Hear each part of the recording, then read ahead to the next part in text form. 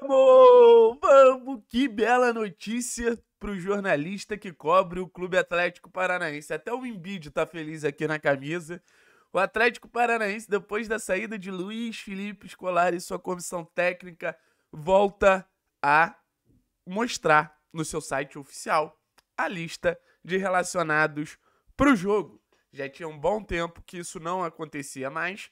E, cara, vamos ser sinceros aqui: nenhum time, nenhum time do mundo, principalmente os da Série A do Campeonato Brasileiro, que na teoria são times que têm analistas, que, pô, dissecam o Atlético, vai se sentir afetado ou, ou, ou vai descobrir algum segredo do Atlético por causa de, de lista de preleção, tá? Isso era um conceito completamente antiquado. O que pode acontecer é, no mínimo, o torcedor ficar melhor informado. E a gente que produz conteúdo, a gente poder analisar a lista. Porque a gente pode sentir falta de uma peça X, a gente pode sentir de é, falta de uma peça Y, a gente pode entender mais ou menos a ideia a partir da, da quantidade de peças que o treinador vai levar para o jogo da posição tal. Pô, tá levando uma quantidade considerável de pontas. Não tá levando uma quantidade considerável de pontas. Porque, assim, é, vendo aqui, Pô, a gente já pode informar vocês, pô, a Reagada tá indo, o Kaique Rocha tá indo, e a gente desmembrar isso. Então deixa o like, se inscreve no canal, muito importante essa ajuda da parte de vocês. E vamos embora entender quem vai representar o Atlético neste jogo contra o São Paulo, lista em ordem alfabética. Botei cortadinho para mim caber na tela também, que é importante. E vamos lá. É, goleiros, né? Vamos tentar dividir por posição. A gente ainda tem o Bento, em negociação com o Benfica, mas o Bento tá na lista. Léo Link, Mikael, Gabriel Pereira não tá na lista. Então os goleiros são esses. Zagueiros, a gente tem, vamos lá, Kaique Rocha, a gente tem Pedro Henrique, a gente tem Thiago Heleno e a gente tem o Zé Ivaldo aqui embaixo. Os zagueiros são esses. Laterais direitos, Kelvin Madison. Laterais esquerdos, Lucas Esquivel ainda não pode jogar. Janela abre dia 3 de julho. Fernando. E aqui embaixo a gente tem Vinícius Cauê. É... Aí a gente tem na volância Hugo Moura, Alex Santana. A gente tem Léo Cittadini, que é volante meia, né? A gente tem mais quem da volância? Acho que é isso. Eric suspenso. Fernandinho é machucado, a gente tem um número reduzido de volantes. Aí na meia a gente tem Christian, a gente tem é, Terãs, Terãs, a gente tem Vitor Bueno. E no ataque a gente tem bastante opção para ataque. Arriagada, a gente tem Marcelo Cirino, Matheus Felipe também tá para zaga, esqueci de contar o Matheus Felipe. A gente tem Thiago Andrade, a gente tem Coelho, Canóbio não está à disposição. A gente tem é William Bigode. Uma peça que também chama atenção por não estar na lista é o Pablo, né? O Pablo era uma peça que a gente entendia que poderia voltar depois da data FIFA e esse retorno ele ainda não aconteceu do Pablo. Então é um Atlético que tem algumas peças interessantes relacionadas, o RH, o Kaique Rocha, o Vinícius Cauê, mas ainda tem alguns desfalques. Tem o desfalque do Eric do Canob, tem o Fernandinho e também tem o, o Pablo que não voltam. Nessa lista a gente tem quantos nomes? Deixa eu ver se a matéria fala.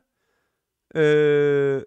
Não fala, então a gente vai ter que contar. Alex Santana, Riagada, Bento, Christian Coelho, Fernando Gumoura, Kaique Rocha, Kelvin, Léo Cittadini, Léo Link, Madison, Marcelo Cirino, Matheus Felipe, Mikael, Pedro Henrique Terence, Thiago Andrade, é, Thiago Heleno, Vinícius Cauê, Vitor Bueno, Vitor Roque, William Bigode e Zé Ivaldo ainda vai ter que rolar um corte aqui, tá? Porque são 24 nomes e, se eu não me engano, a CBF ela só permite 23 nomes é, relacionados, indo para o banco de reservas, 12 no banco de reservas, se eu não me engano.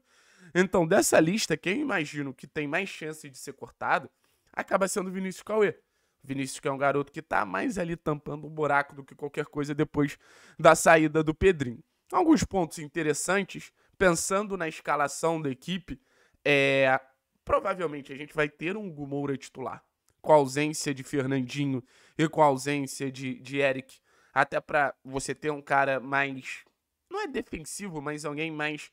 Que, que possibilite uma proteção maior de área. Então acho muito improvável que o Hugo Moura ele não seja titular nesse jogo, que a gente tenha outra dupla, não sei, Alex Santana e Citadini, acho que não faz tanto sentido, sabe? Eu acho que a questão é entender quem vai jogar do lado do Hugo.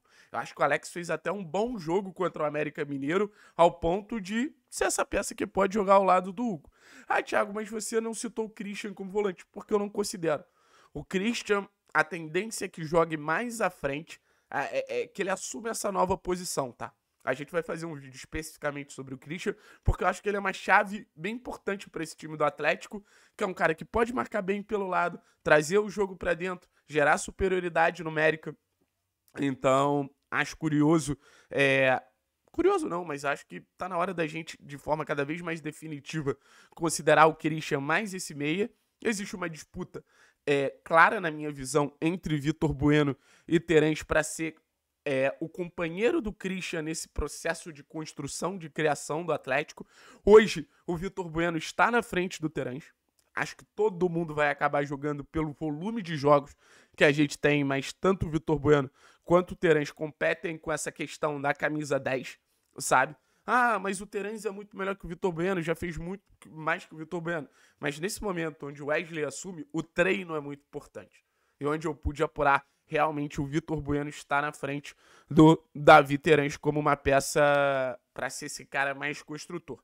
Então a ideia é ter um meio que pense mais um jogo. Óbvio que o desfalque do Fernandinho nesse sentido é muito importante, mas é, ter Christian e mais um meia, mais um quarto homem de meio campo, eu acho legal. É, a gente vai tentar ter uma saída de bola mais elaborada. Eu acho que isso pode gerar uma concorrência entre Zé Ivaldo e Pedro Henrique também. A gente sabe que o Pedro tem uma saída de bola pior que a do Zé. Então, de alguma maneira, é, a gente vai ter que entender como os dois vão se adaptar nessa mudança de processo de marcação em relação à marcação-pressão é, marcação por zona. Antes a gente pressionava menos, era uma marcação mais individual.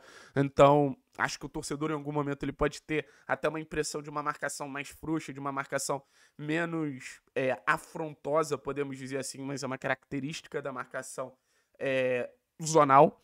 E, e para terminar, a questão do ponta, né?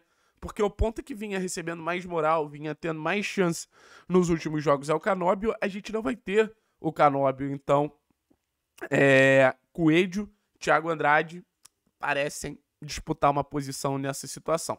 Acho que o Thiago tá na frente do Coelho, vou ser bem sincero com vocês. Acho que a gente tem uma grande chance de ver o Thiago Andrade. Isso é achismo. Que o Vitor Bueno tá na frente do Terence é informação.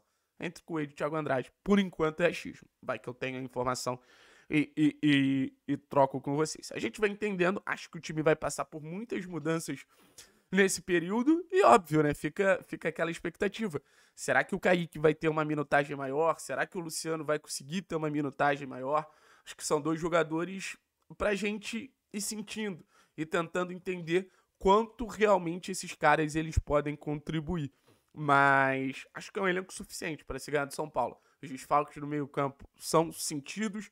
Acho que cada vez mais o desfalque do Canóbio é sentido. É, a gente tem o Pablo também para recuperar, então essa lista aqui, que eu acho uma boa lista, ela ainda vai ser consideravelmente reforçada, se tu parar para pensar. Esquivel, é, Pablo, Fernandinho, Eric e Canóbio são cinco caras que potencializam essa lista, então um ou outro nome dessa lista naturalmente vai começar a ficar mais de fora, e dois jogadores envolvidos em negociações, né? Vitor, é, Vitor Roque e Bento, ainda conversando com Barcelona e ainda conversando com Benfica, dois nomes que até onde eu sei, é, sempre respeitando a informação de todos, mas já tem é, o ok dado para Benfica e para Barcelona. Falta esses clubes se resolverem com o Atlético. Estão presentes na lista e a gente fica naquela expectativa. Será que vai ser o último jogo? Será que não vai ser? Enfim, rapaziada, tamo junto, viu?